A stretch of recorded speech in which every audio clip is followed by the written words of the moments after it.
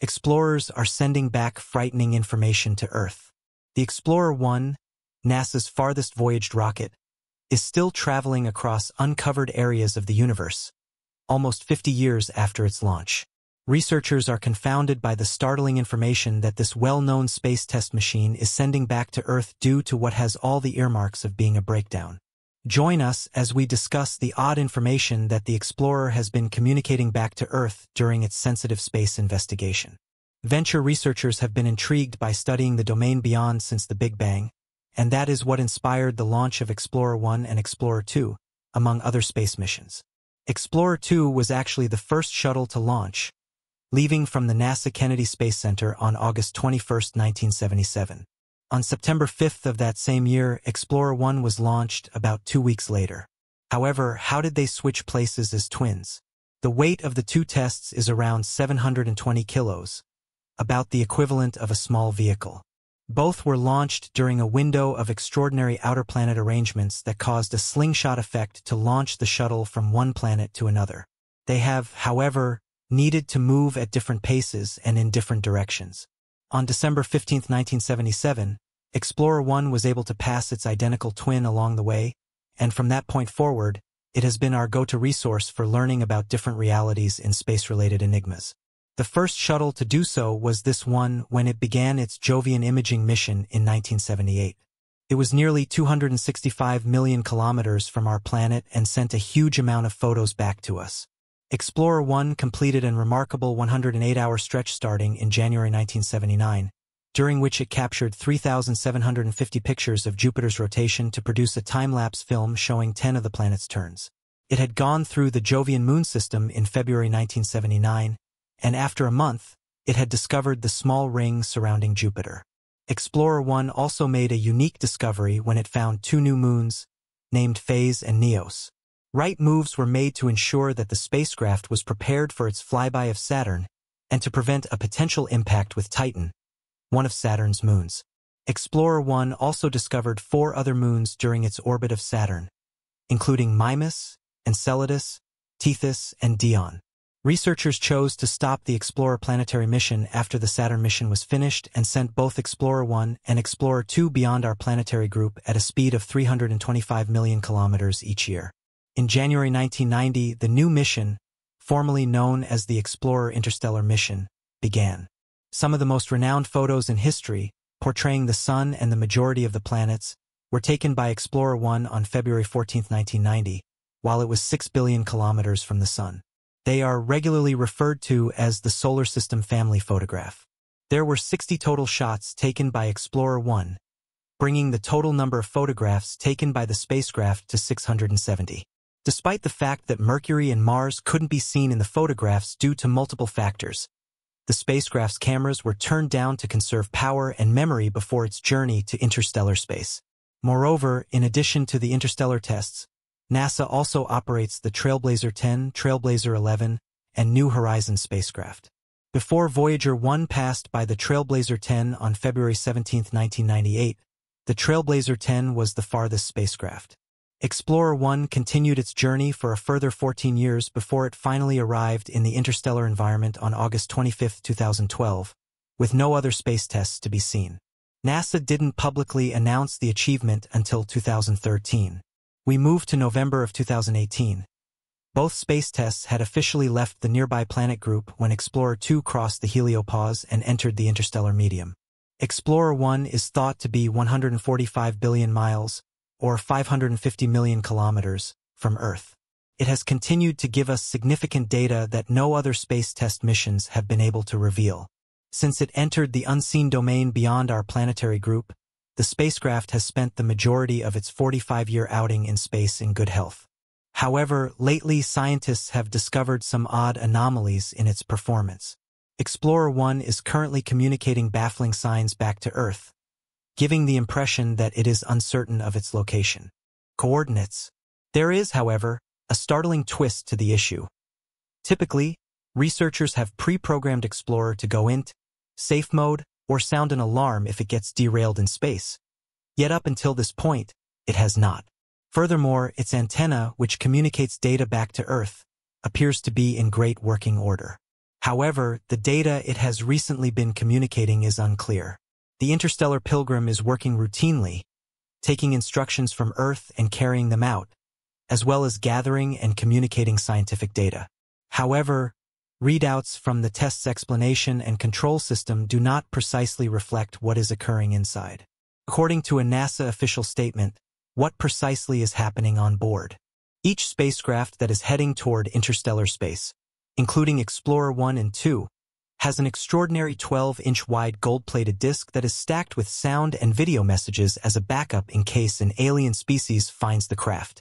It includes 35 Earth noises, 115 live photographs, 90 minutes of Western music, and good tidings from former U.S. President Jimmy Carter and former UN Secretary General Kurt Waldheim. These are just a few of the items on the space DVD. Moreover, they are kept in 55 different languages, so if it were taken over by outsiders, they would probably be attempting to interpret the signals. Speculations that the spaceship is currently under the control of aliens have been quickly dismissed by researchers. Explorer's ability to operate depends heavily on the attitude and orientation control system.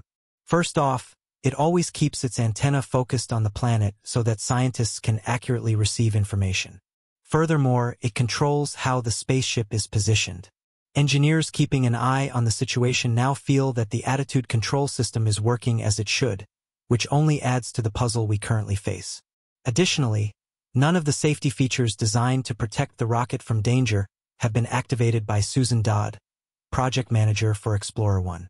Such a mystery is not all bad at this point in the Explorer mission. The spacecraft are both around 45 years old, which is much older than what was envisioned in the mission plan. Dodd also acknowledges that the spacecraft's engineering team will face significant challenges in solving the issue with Explorer 1 due to the distance between us and the spacecraft. The challenges are immense, largely due to the rocket being around 145 billion miles away from Earth. This vast distance presents a number of inconveniences that the team must navigate carefully. A rescue operation is nearly impossible given the current technological and strategic constraints. Explorer 1 is far beyond the range of any spacecraft or repair mission that we could realistically send.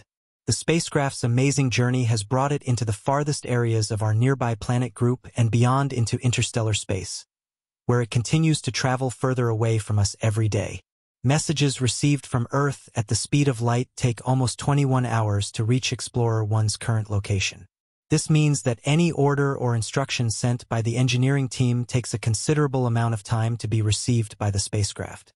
This delay poses a significant challenge for ongoing troubleshooting and investigation. Moreover, once Explorer 1 processes the order, any response or information it sends back to Earth will take an additional 21 hours to return.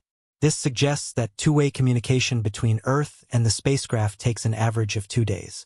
Such a delay makes it especially difficult to implement practical solutions or iterative troubleshooting processes, which are often essential when dealing with complex technical issues. The engineering team must carefully plan and execute each command, anticipating different scenarios and potential outcomes. Unlike missions closer to Earth, where specialists can quickly send and receive orders, the long communication delay requires a more strategic and patient approach. Every instruction must be carefully designed to address the known issues without causing additional problems. Given the extended time it takes to confirm whether the order had the desired effect, the critical communication delay also means that the engineering team has limited opportunities to interact with the spacecraft. Each command sent must be successful and precise, leaving little room for error. This requires extensive testing and validation of commands on Earth before they are sent to Explorer 1. In addition to these strategic challenges, the spacecraft itself is over 40 years old, having been launched in 1977. The technology on board, though cutting edge at the time, is now considered outdated by modern standards. The engineering team must work with hardware and systems that were designed and built in the 1970s, which adds another layer of complexity to the problem-solving process. The harsh environment of space has also caused significant wear and tear on the spacecraft systems. Explorer 1 has been exposed to cosmic radiation, extreme temperatures, and micrometeoroids for over 45 years. These factors contribute to the wear and degradation of its components, making it even more challenging to maintain and repair. Despite these obstacles, the engineering team remains committed to resolving the ongoing issues. They are investigating various theories about what may be causing the anomalies and testing potential solutions through simulations on Earth. This careful, calculated approach is crucial, given the stakes involved. Any wrong command could potentially worsen the situation or lead to a loss of communication with the spacecraft. The team is also utilizing the redundancy built into Explorer-1 systems, like many other space missions. Explorer-1 was designed with backup systems to increase its resilience to failures. The engineering team may be able to switch to these backup systems and restore normal operations if they confirm that a specific component is failing. In summary, while the challenges of diagnosing and fixing the issues with Explorer 1 are immense, the engineering team is using their expertise, experience, and the spacecraft's inherent resilience to address the problems. Their careful and patient approach is essential in handling the critical communication delay and the complexities of working with a spacecraft that is both extremely distant and thoroughly aged. Despite the odds, their efforts aim to continue Explorer 1's legacy of exploration and scientific discovery far beyond its original mission boundaries.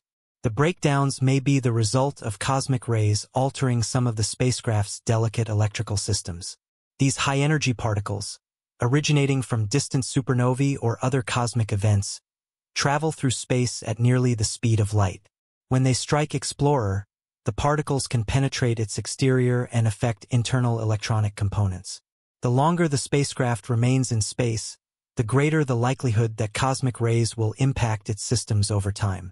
This phenomenon can lead to irregular anomalies like the ones currently seen in Explorer 1's telemetry data. Engineers have long been aware of the potential risks of cosmic rays to spacecraft devices and even human explorers.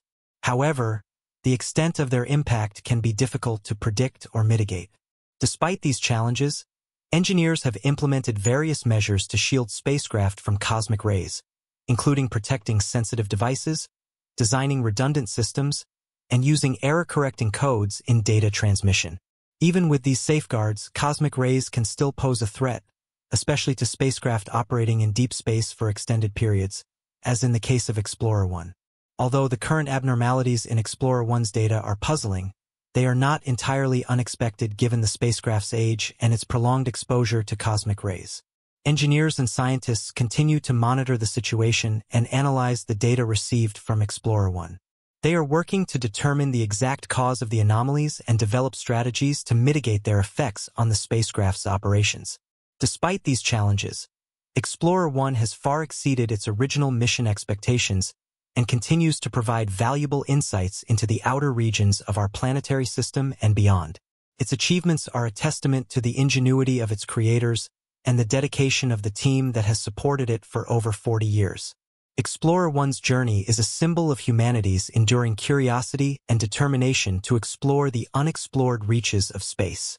As we look to the future, missions like Explorer 1 will continue to inspire and expand our understanding of the universe.